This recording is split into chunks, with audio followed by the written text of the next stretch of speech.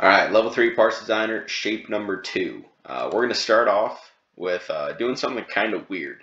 So this shape, let's call these the arms of this object. Uh, the front edge isn't actually square. It's not a perfect line. It's actually rounded. And unfortunately, there's not a great tool to do that uh, with in Tinkercad. So we're going to have to do something kind of funky. The, the radius of that curve is 70, which means if we were to make that thing out of a cylinder, the cylinder would have to have a diameter of twice that, so 140. This is way too uh, way too big, so we're going to shrink it down, crank those sides up, and we'll turn it this way. Now, what we need is the middle middle portion of this. We just, we literally only need like that much of this object. So we're going to have to cut the rest away. Now, I need how much of that object? Well, the thickness of my arms, uh, that's 40, right? That dimension right there reads 40. So because this entire thing is 140 millimeters tall, uh, I need to carve a hole that cuts off the bottom 50 millimeters and the top 50 millimeters. I'm going to duplicate this and I'm going to send it up. Right, the top of it needs to line up with the top of my cylinder. Um, that's going to put me at 90, 90. Now, when I group these together, that will give me the perfect curve. Now, how, uh, well, what is the distance between this corner and this corner? Basically, how thick do I need to make this? It needs to be 90. Now I don't need this stuff back here. I really just need this front, but I'm going to leave the back stuff there for now um, until I know how far back it needs to extend. Um, so basically I want to know what is the distance between this edge and then when it no longer, uh, or when it turns into this cylinder back here. So what is that distance? Well, from here to here is 65 and then from here to here is 45. So 65 plus 45 gives me 110. So I actually need to bring my ruler out here and I need to cut off uh, this object at 110 millimeters. So first we're going to zero it out on the origin.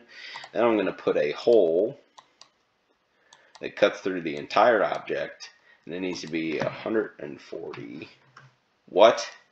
What did I say? Oh, it was 110, not 140. 110. Good. Group that together. Beautiful. All right. Now you'll see this start to make sense in a second. Uh, we're going to cut out uh, this rectangle right here. Um, how deep does it go? Oh, we need to figure that out. What is the thickness of, of all these arms? Oh, okay, so thickness of 10, which means from here to here is 10. Now, from this edge to this face right here is 45 minus 10. So I have a hole that needs to extend. Nope, didn't want to do that. It needs to extend into the object 35 millimeters. So from this edge to this face, 35 millimeters. It kind of needs to be 35, and then it just needs to be extending up through the entire object. How wide is it? Uh, they give me that dimension. It is 70. So 0, and then I can just use the align tool uh, to push their front faces together. What? I swear I centered it. Okay. Alright, group that together. Beautiful. Next, we need to figure out what this... Now, okay, we're good. We're good. Relax. Um, we need to cut out this rectangle. What is this rectangle? Well, that's going to be tricky distance between there and there. It doesn't look like, okay, it's 15. All right, so the distance between here to this center is 15, and the distance from the center to here is another 15.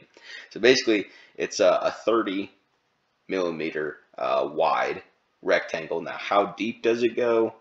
Well, we don't know the distance between here and here, but we do know from this back edge to here, the face of that hole is 35 we can work with that. So we need a 30 millimeter wide hole. We're going to make this tall so it cuts through the entire object. We're just going to make it real, real long for now. And I'm going to throw my ruler out here. We're going to zero this guy out. And we're going to align the centers because this object is centered. And I know the distance between this face right here and the back of my object has to be 35. Beautiful. All right, let's get rid of that ruler. Now what is next? Let's let's put that hole through there.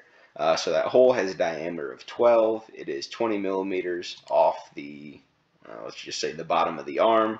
How far in is it? Well, it's 25 millimeters from this edge, or what is 45 minus 25? It's 20 millimeters from this edge. So from here to here, it's 20 millimeters in from the closest edges. So let's let's throw a work. Uh, we don't even need to do that anymore.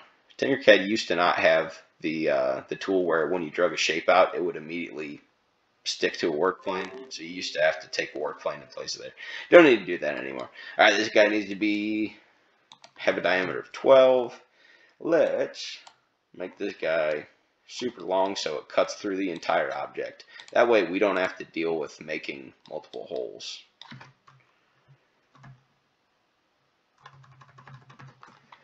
Good, and it needs to be 20 millimeters away from the nearest edge. So, let's throw this guy out here. We're going to zero out our base. And we need to measure from not the end point, but the midpoint. Am I measuring midpoint? Come on, come on. There we go. Alright, said 20 from here, and it needs to be 20 millimeters tall. I don't see that, that height dimension, so we're just going to drag it up until I do see it. There we go. It's that 54 number. It needs to be 20. Good. Let's see. Give it the uh, give it the old eyeball. Does it look centered? Yes, it does. And if it looks good and we did the math, then it's probably correct. Beautiful. Now, we need to uh, basically cut out this chunk right here. Now, the arms are 10 millimeters wide all around. So here's what I'm going to do. I'm going to throw a work plane right here.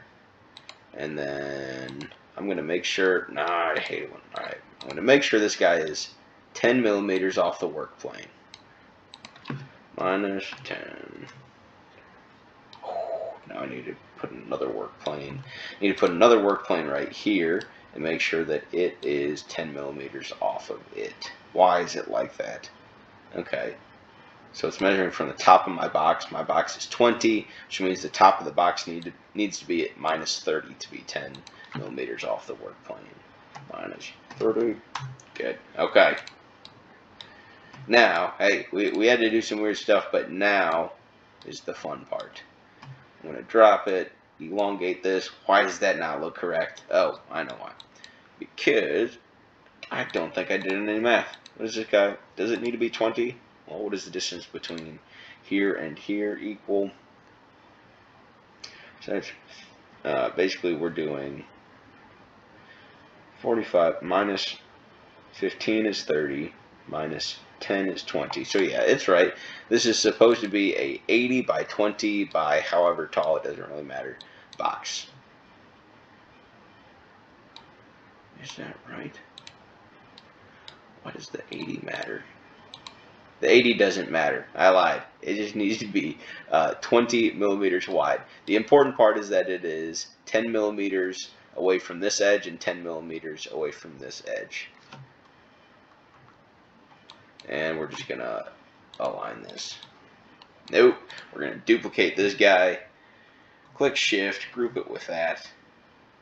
And then we're to rotate it, group it.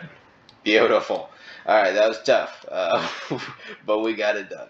Okay, now we're moving on to this cylinder part. Uh, this tripped me up. Pretty sure this is a mistake in the drawing. This line right here looks like it's extending to like the middle of our arm. I'm pretty sure it's supposed to stop at this edge. It's basically saying that this, the main big cylinder is 96 inch, no, is 80 millimeters tall. And then uh, this little skinny little like extrusion coming out of it, that is 96 millimeters tall based off the bottom of the cylinder. I believe that's what the, the drawing is showing. So we're going to start with a cylinder that is 50 millimeters in diameter and uh, 80 millimeters tall, 50 by 80.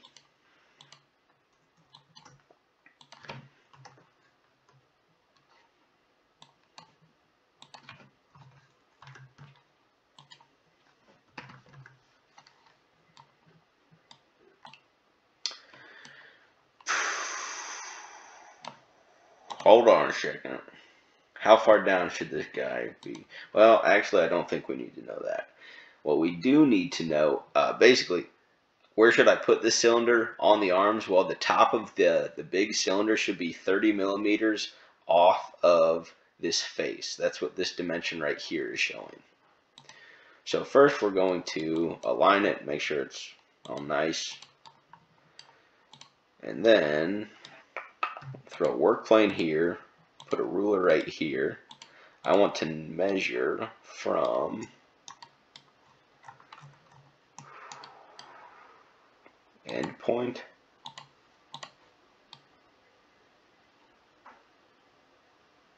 What happens if I move this up? Does that tell me anything useful? Not quite. Okay, so it's measuring from uh, the top of this guy. We can work with that. Oh, yeah, I think, all right, the, the top of this guy is how far off of that face where we have the work plane? Well, it's 30. Let's see if that works. No! All right. Uh, what should we do? What should we do?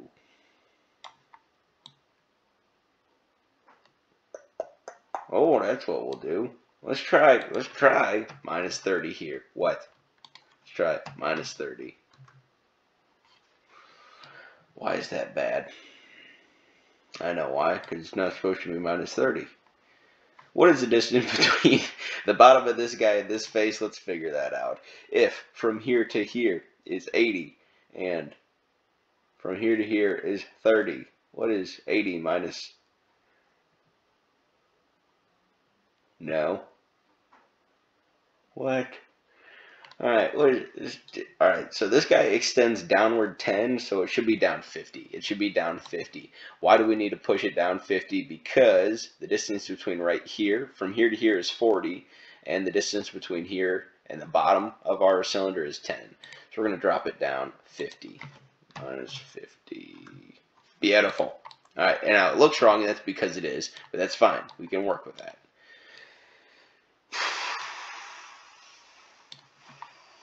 what to do next. Well, let's let's push it into the uh, the arms. How do we do that? Well, let's start by getting rid of that work plane and replace it with another one right there. Um, the diameter of this guy is 50, so I need to push it into the work plane minus 25, right? I need to split it in half. Pi 25. Okay, we'll get rid of that. Oh, look at that. Almost looks like we know what we're doing. Let's group that, just, just see what happens. Okay. Uh, it's not giving me a real smooth transition. Oh, I'm off by a millimeter or two. I'm off. Something's wrong. Let's try bumping it out to three millimeters. Yep, that, that was all it took. Uh, what did I just do? I moved it to the right three millimeters. Is that what I was supposed to do? Well, let's check. Let's check. So from this face to the center of my cylinder should be 35. I probably should have done that to begin with. Alright, we're going to ungroup this guy, throw a work plane right here, and then we're going to throw a ruler on this guy, and then we're going to measure from midpoint. Yep, oh, look at that. Uh, the distance between this surface right here, our work plane in the center of our circle should be 35 millimeters. All right. And if we group this, yeah, it should go back to normal. Now I'm actually going to ungroup that and I'm going to lock this guy in place. Now we're going to put that little baby cylinder up top. The baby cylinder has a diameter of 35.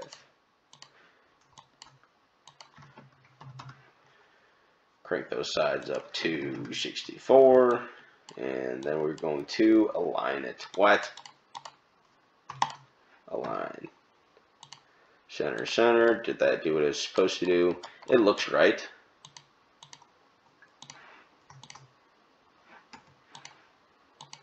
Now I'm positive it's correct. How tall should it be? Well, it's the difference between 80 and 96. What is 96 minus 80? We know that's 16, so we're going to make sure this guy sticks up 16 millimeters. And we're going to ungroup this, or sorry, unlock it, group it, because I know it's perfect, relock it. Then we're going to put a hole through the top. The hole has a diameter of 20. This guy right here. And it's it doesn't say that it doesn't extend all the way through the object, so we're just going to assume that it does.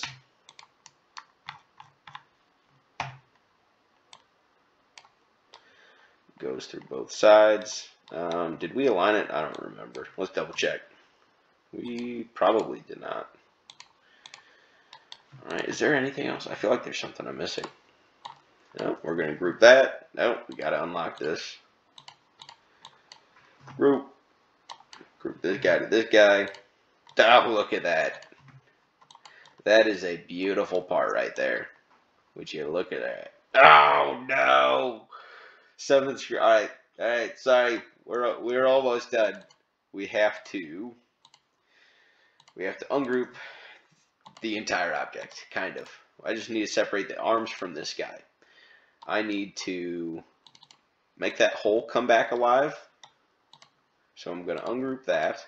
And then I'm going to group all these guys together. Basically, the hole was cutting through the cylinders, and it wasn't cutting through the, the legs or the arms. Now it's going to, because they're, they're all selected. I'm going to group them all.